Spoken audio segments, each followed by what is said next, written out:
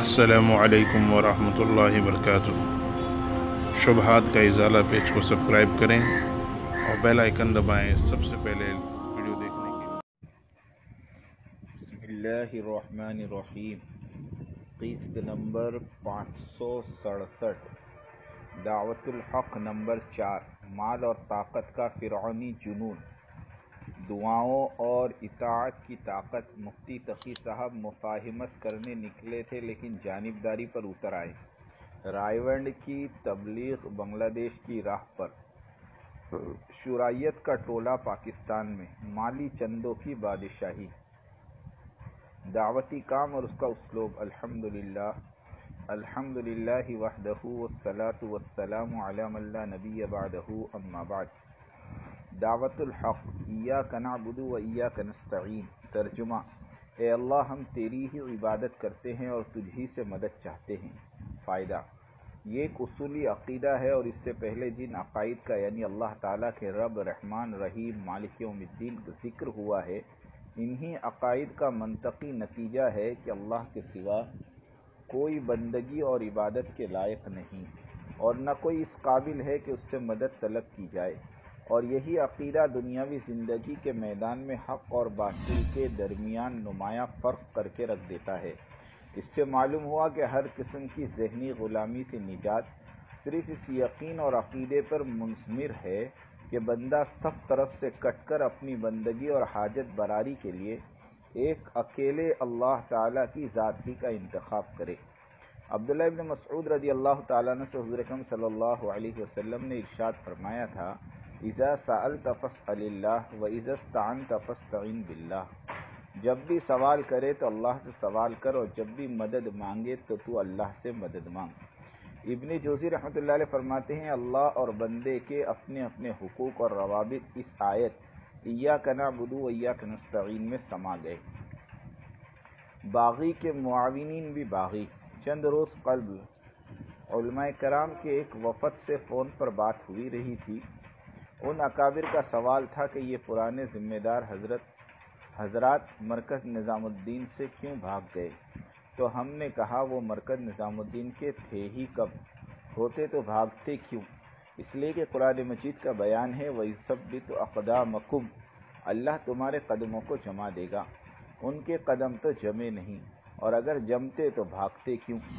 इबात कदम से महरूमी अदम अखलास और अदम इस्तखलास की वजह से होती है, या फिर मफादात की अदम हसूली की वजह से, या फिर खुद बीनी यानी उजब के रोग के बास।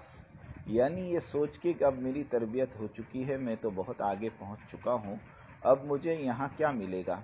लिहाजा यहाँ से भागकर कोई अपनी अलहदा दुनिया बसाएँ, पार्टी बनाए और अपनी बादशाहत और हुक्म का सिक्का चलाएँ। हज़रत मौलाना मोहम्मद अहमद साहब भावलपुरी अंसारी नवरल्लाहु मरकदहू ने साफ़ फरमाया था कि कुछ लोग अपनी बादशाहत चलाने के लिए मरकज़ निज़ामुद्दीन से भाग चुके हैं। मैं उन्हें ख़बरदार करता हूँ कि वो मरकज़ निज़ामुद्दीन वापस लौट जाएँ, वरना ख़ातिमा बिलखैर से महरूम कर दिए जाएँगे। और ये फितरी चीज़ है कि जो निकलता है, वो अपने साथ दूसरे को भी ले जाता है। इबलीस निकलते वक्त हज़रत आदम को भी निकलवा दिया। इबलीस का निकलना तकबर और गुरूर की वजह से था और हज़रत आदम सलाम का निकलना ख़ता की वजह से। ख़ता के बाद अगर एहसास और नदामत हो तो वापस लौटने और तौबा करने की कभी उम्मीद है। हज़रत आदम सलाम ने ऐसा ही किया। वासा आदम रबहू फ़गवा सुमज तबाह रबहू फ़ताब अलही वहदा। लेकिन गुरूर पर तौबा की तोफ़ी मुश्किल है। तौबा नहीं तो हिदायत भी नहीं अलबत् हिदायत की बजाय ज़िद, बुग्ज और अनाद मुकद्दर बन जाएगा। अब जो भी मरकज़ निज़ामुद्दीन से ख़ता से निकला तो उसके लौट आने की तो है और लौट रहे हैं। हज़ारों शुराई अमारत की तरफ़ रोज़ाना लौट रहे हैं, हमें बताते हैं। और जो गुरूर की वजह से निकला है, उसके लौटने की तो बहुत कम है। शुराइत वालों की जंग। शुराइत वाले अपनी जंग पाँच तरह से जारी रखे हुए हैं, जो मंदरजा झैल है। पहली जंग नज़रियात और नहज की बुनियाद पर हुई।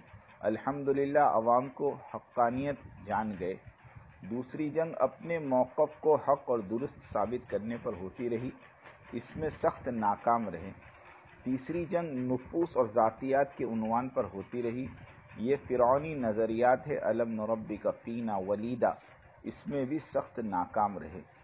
चौथी जंग एक दूसरे के खिलाफ तहमत और बदनामी का चर्चा करने के ज़रिए पांचवा और आखिरी हरबा ताकत, माल, सियासत, बलवा, पुकार का बाज़ार गर्म करना। इस जंग शुराइत ने चार तरीकों को उबूर कर लिया। अब पाँचवें और आखिरी मरहले में दाखिल हो गए हैं कि अब मार धाड़ वाली सियासत चल रही है। मराकज़ और मसाजिद पर कब्जा शुरू हो गया है। बांग्लादेश में मार धाड़ बेंगलोर में मुफ्तियान किराम की जमातों पर जुल्म और मार पिटाई और अब पाकिस्तान को बांग्लादेश बनाने की कोशिश। आज कतर एयरवेज से 19 शुराइत के अलम बरदार। रात दो बजे कराची पहुँचेंगे, जिनमें मौलाना इब्राहिम साहब देवला दामत बरकातुम, जनाब अहमद लाड साहब भी शामिल हैं। और शुराइत के मास्टरमाइंड भाई यामीन साहब की आखिरी प्लानिंग है, इस बागी टोले का प्रोग्राम मुलाहजा हो। कल इतवार के दिन आवाम में बयानात होंगे और मदारिस के तलबा और में भी बयान होगा। पीर के दिन दोपहर का खाना मुफ्ती तकी उस्मानी साहब के यहाँ होगा, रात का खाना मुफ्ती अब्दुलरहीम साहब के यहाँ होगा। गैर जानबदार से जानबदारी, मुफ्ती तकी उस्मानी साहब रायवंड मरकज़ में और अपने एक एलामिया में फरमाया था कि मैं किसी का हिमायती नहीं, बल्कि मुफाहिमत करने के लिए आया हूँ। लेकिन दीगर मुफ्तियान की तरह माली हिदाया और तबर्रुआत और चंदों ने मुफ्ती तकी उस्मानी साहब को भी बदल कर रख दिया। और मुफ्ती तकी साहब भी जानबदारी पर उतर आए और खुले मुहार शुराइत वाले बागी टोले की मेज़बानी पर उतर आए। ये सारी प्लानिंग चंद रोज़ कबल उम्र के दौरान की गई। मौलाना सज्जाद नौमानी साहब और मुफ्ती तकी उस्मानी साहब ने आपस में मिलकर ये सारा प्रोग्राम तैयार किया, जिसकी तस्वीरें अब्दुलरकीब हैदराबादी के फेसबुक पर देख सकते हैं। जानबदारों की फहरिस्त। पहले मुफ्ती अबुल कासिम साहब इंडिया, फिर मुफ्ती अहमद शफी साहब बांग्लादेश और अब मुफ्ती तकी उस्मानी साहब पाकिस्तान ने मरकज़ निज़ामुद्दीन वाली अमारत और उसके अमीर मौलाना साद साहब से बगावत का ऐलान कर दिया और इस तरह अपनी छुपी हुई अदावत को ज़ाहिर कर दिया।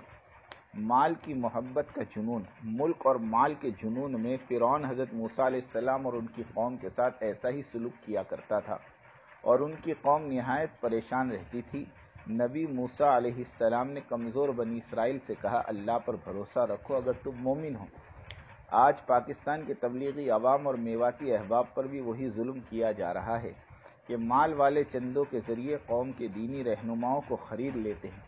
और ये उल्मा गुज्त कल कुछ कह रहे थे, अब आज अचानक उनके कौल और फ़ैल का बदल जाना, ये कोई आसिब और भूत का असर तो नहीं हो सकता।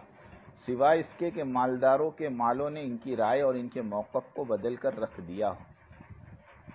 तबलीगी अवाम और मेवाती अहबाब कौम बनी इसराइल की तरह सब्र और इस्तकामत का दामन थामे रखे और मुल्क के मराकज़ पर जमा होकर आलमी मरकज़ निज़ामुद्दीन की बात चलाएँ और रोज़े रखकर अल्लाह से दुआ और मदद मांगे। फ़िरौनी ताकत इसी तर्ज अमल से तबाह हुई, यानी पहले सब्र और तवक्ल अल्लाह, फिर दुआ ए अल्लाह, ये यामीन वाला फितने दावती काम को सीरत तैयबा से हटाकर कम्युनिस्ट शुराइत वाले निज़ाम पर ले जाने की कोशिश कर रहा है। या अल्लाह तो इनके मालों को हलाक कर। बनी इसराइल के मजलूमीन की दुआ।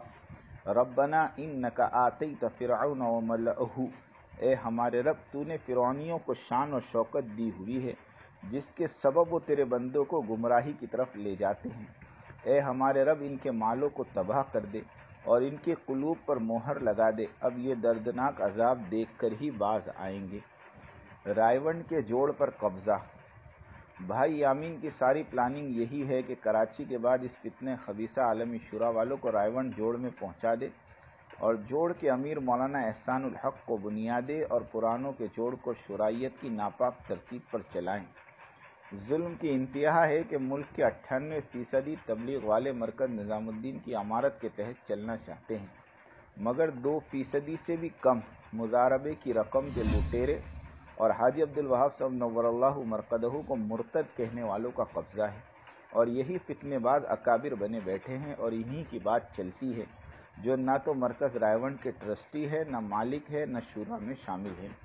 और मुल्क के अट्ठानवे फ़ीसदी तबलीग वाले इन मजालिम को बर्दाश्त कर रहे हैं। न तो वो अपने अमीर आलम ही को अपने मरकज़ ला सकते हैं और ना ही मरकज़ निज़ामुद्दीन की जमात को बुला सकते हैं। जबकि सारे कराम इन तबलीग वालों के साथ सारे पुराने काम करने वाले भी अमारत वाली तरतीब चाहते हैं। ला हौला वला कुव्वत इल्ला बिल्लाह। शुराइत वालों की नाकामी। शुराइत वाले इटली गए, इज्तिमा किया, फ्रांस गए, पुर्तगाल गए, अब दस दिन से यूके में बैठे हुए हैं। मुकम्मल तौर पर फेल हो चुके हैं। आज मरकज निज़ामुद्दीन में यूरोप का मशवरा शुरू हुआ। अल्हम्दुलिल्लाह, इटली से बड़ा मजमा, यूके से 500 फ्रांस से 400 इस तरह कुल यूरोप से तकरीबन तीन हज़ार अहबाब मरकज निज़ामुद्दीन में मौजूद हैं। हमारे काम दुआओं से और यकजहती से चलते हैं। शुराइत के इज्तमात में शिरकत करने से खुद भी बचें और दूसरों को बचाएँ। रायवण के जोड़ में बड़ी तादाद में जाएँ और कदीम शुरा वालों के साथ मिलकर उमूर अंजाम दे। शुराइत वालों से जोड़ को महफूज रखे, वरना रायवण भी बांग्लादेश बनकर रह जाएगा। इतात अमीर हर हाल में हो, इतात चौबीसों घंटे के हर पल में हर काम में वाजिब है। चाहे वो इबादत हो के मामला खिदमत हो के दावती काम, सब उमूर में इतात वाजिब है। रायवण मरकज़ का जोड़ और इज्तिमा। रायवण मरकज़ का जोड़ और इज्तम, मशवरा, हिजरत और नुसरत। अमीर के बजाय बागी ग्रुप की सरपरस्ती में अंजाम पा रही है तो उस इज्तम से कोई खैर कैसे वजूद में आएगा? खैर समझ कर लग रहे लग रहे हो और वो हकीकत में खैर नहीं बल्कि तबाही है। जिस तरह कौम आद ने काले अबर को देख कर खुशियाँ मनाई और बादल उनकी तबाही का सबब बने, इसलिए कि कौम की राय अपनी रबी की राय से मुख्तलिफ़ थी। इसी तरह जिस इज्तम में अमीर की इतात और तइद और तवज्जुहात और उसकी अजमत और इकबाल और उसकी तरफ़ से मुरसला वफद की सही कदरदानी और इस्तेमाल ना हो तो फिर इज्तिमा से खैर और हिदायत और बरकत और अनवारात की तो रखना नहायत दर्जे की हिमाकत है। दरवाज़ा खोलकर दाखिल होने का हुक्म है, ना कि तोड़कर। अमीर की रजा के बगैर क़याम लैल भी नफ़ा नहीं दे सकता। हज़रत शेख जकरिया साहब रहमत ने वफ़ात से तकरीबन पाँच छः साल पहले बड़े दुख और दर्द से फरमाया था कि रायवण का मुस्तकबिल ख़तरात से दो चार होते देख रहा हूँ। वाक़ता सब कुछ वही हो रहा है, इसलिए कि रूहानियत के मरकज़ पर मादियत और माल वालों का कब्ज़ा हो चुका है। जिस मरकज़ का मुकद्दर जुल्म और इस्तबदाद वालों के हाथ में हो तो उसका अल्लाह ही मुहाफिज है। कोई सलीके मंद शुरा हो, कोई मुखलिस का अमला हो, शब बेदारों और आँसू बहाने वालों की तादाद हो, मरकज़ निज़ामुद्दीन और अमीर आलम हज़रत जी मौलाना साहब साहब की बात चलाई जा रही हो, तब तो अल्लाह को भी प्यार आएगा और कौमों की और मुल्क वालों की तकदीर बदलेगी। अभी वक्त है, तोबा कर लो, रुजू कर लो निज़ामुद्दीन मरकज़ की तरफ़। कहाँ तक मारे मारे फिरते रहोगे, थक जाओगे, मंजिल तक नहीं पहुँच पाओगे। किसी यकजाई से अब अहद ग़ुलामी कर लो मिल्लत अहमद मुरसल को मकामी कर लो। अल्लाह हिफाजत फरमाए और अपनी कुदरत से तीनों के फितनों को उन्हीं पर लौटाए। आमीन। व आखिर दावाना अनिलहमदिल्ला